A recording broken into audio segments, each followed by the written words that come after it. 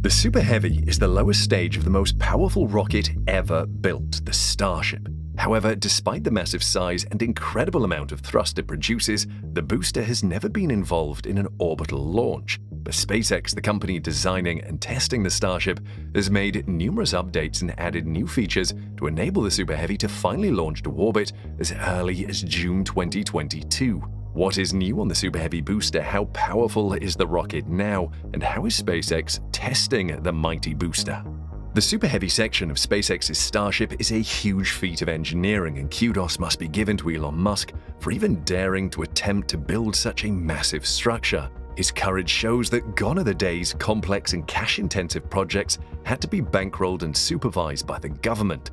Of course, Musk is motivated by his desire to set up people living permanently on Mars, and he has to find a way to transport both cargo and humans across the vast distance between Earth and the Red Planet. However, the Starship will have other uses, including launching satellites to orbit and spacecraft missions like the James Webb Space Telescope, taking astronauts to the Moon and eventually Mars itself, and rapid transportation of humans and cargo right here on Earth.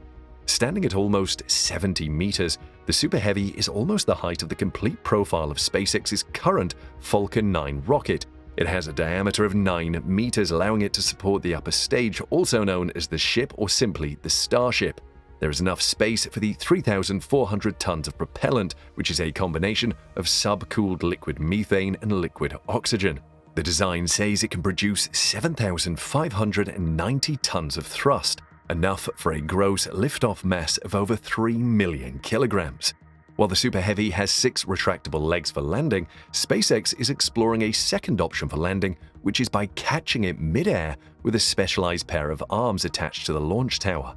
That would make it the heaviest object ever caught in history, and even Musk admits it might not work. And yes, we just mentioned landing the Super Heavy because it's entirely reusable, meaning it can handle multiple launches just like the last airplane you flew in. SpaceX is even targeting multiple flights in a single day. While this introduces lots of challenges in the development of the booster, Musk is looking forward to the massive cost savings. The design team is already experienced in designing reusable boosters anyway, since the company has been reflying boosters from its Falcon 9 and Falcon Heavy rockets. SpaceX is racing against time to get the Super Heavy ready in time for its first orbital flight. This important milestone has seen multiple postponements, which were no fault of the company, which we will hear more about later in this video. However, SpaceX has taken advantage of the delay to make many important changes to the Super Heavy. The biggest one is the decision to use a new prototype for the flight.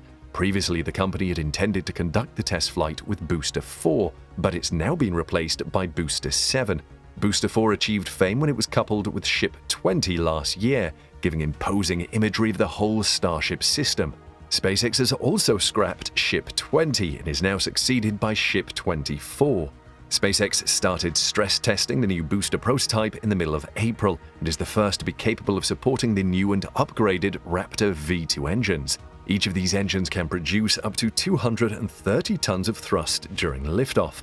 Booster 7 will use up to 33 Raptor engines, increasing its performance significantly. In fact, even with just 20 of the Raptors, the Super Heavy remains the most powerful booster ever tested. This informed why SpaceX took its time to reinforce the testing area, including lots of custom-designed components. Booster 7 is the first Super Heavy to reach the test stand with secondary header tanks meant to store landing propellant. The upgrade to the test stand was necessary because of the new design of the Super Heavy. SpaceX removed its 9 rams setup and modified the stand to support 13 rams, confirming its new purpose was to test Super Heavy's new 13-engine thrust section. Before Booster 7, all Super Heavy prototypes had a similar 9-engine puck and an outer ring of 20 engines that would attach directly to the rim of each booster's cylindrical body. Altogether, Super Heavy Booster 7's 33 engines should be able to generate 7,600 tons of thrust, compared to Super Heavy B4's 5,400 tons.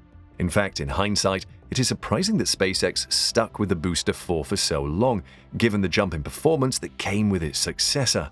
The stress test involved filling the booster about a third of the way with almost 1,000 tons or 2.2 million pounds of liquid nitrogen or a combination of liquid oxygen and liquid nitrogen.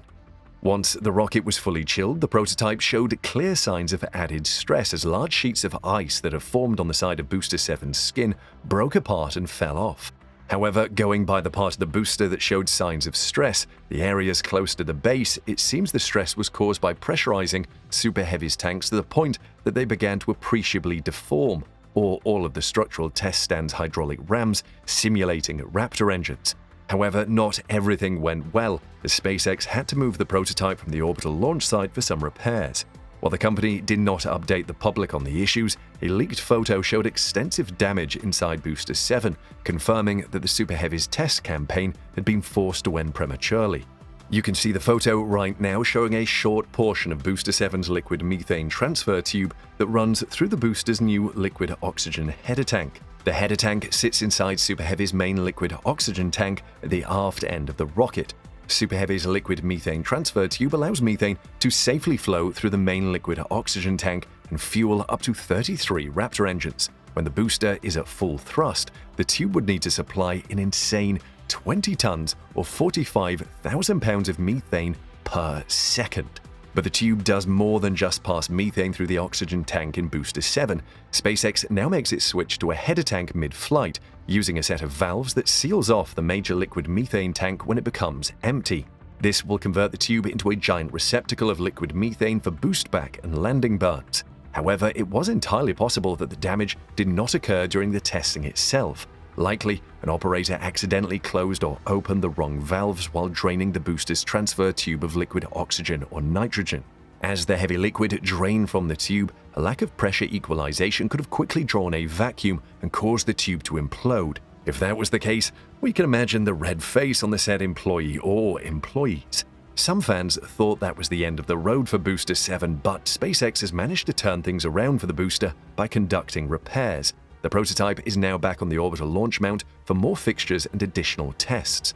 SpaceX first completed some tests to confirm Booster 7 is back to normal and carried out a pair of full cryogenic proof tests. Following positive results, SpaceX has now commenced installing the new Raptor V2 on Booster 7. This became clear as the crew started moving the engines to the Mega Bay assembly building where the booster was housed. SpaceX observers have made some interesting observations about how SpaceX plans to go about Booster 7's static fire tests, judging by the labels on some of the Raptor engines spotted around the assembly area. Two of the three engines spotted bear markings that indicate they are Raptor boost engines, or RB, which apply to the engines that will occupy the outer ring of the booster. This suggests that SpaceX wants to install the full set of 33 Raptors on the booster before kicking off static fire testing. Many people expected SpaceX to start with maybe up to three Raptor engines and to add more as tests return positive results. However, it seems SpaceX will risk something going wrong with all 33 engines by testing them at the same time. While risky, it will allow the test to move at a brisk pace, as other components like heat shields and aero covers can be rapidly installed. This means we are on for a much faster test process for Booster 7 than Booster 4. Let's hear what you think of SpaceX's Super Heavy booster in the comments section below.